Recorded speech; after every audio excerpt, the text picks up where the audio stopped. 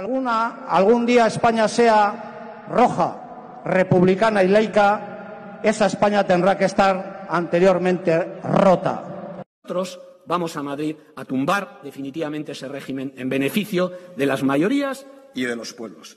Seguimos, es más, paradojas de la vida. Hoy es el día que tras tres décadas intentando acabar con la izquierda independentista vasca, resulta que estamos aquí condicionando el Gobierno de España y las leyes que este Congreso aprueba. Ernest Lluch fue asesinado por aquellos que no pudieron soportar ese grito de libertad y de concordia. Nosotros, compañeros y compañeras, el Partido Socialista Obrero Español es el partido de la libertad.